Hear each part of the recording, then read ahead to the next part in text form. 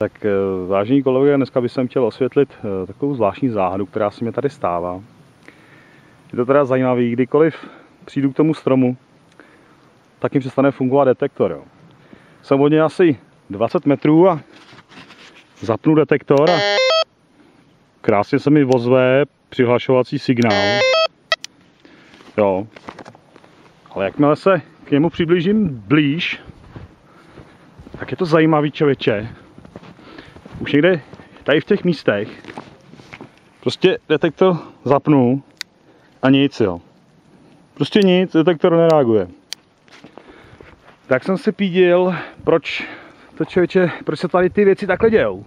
Jako je vidět, ten strom je tady jako fenomenálně velikánský. Jo. A tak vám teda jako šmejdím. Takhle vám ten strom celý obejdu. No a nebudete věřit. Normálně, ale vím, jak je to možný jak se říká, jo, že poslední ani kural nebere, tak tady prostě poslední ani píče nebere. Jo, já nevím, jestli nějaký kolega to nechal.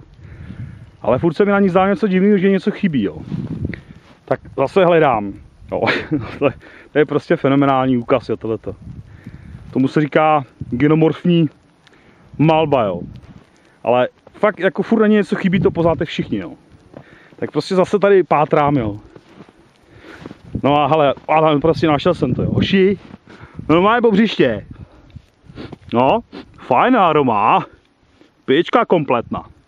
Takže je vidět, že kdo hledá, to najde, no, ale taky se může stát, že najdete úplnou piču, jako dneska zrovna já, no. Je jako terén těžké, udechaný jsem jak stará svině, ale prostě to se člověk musí obětovat. Tak jo, čau pánové.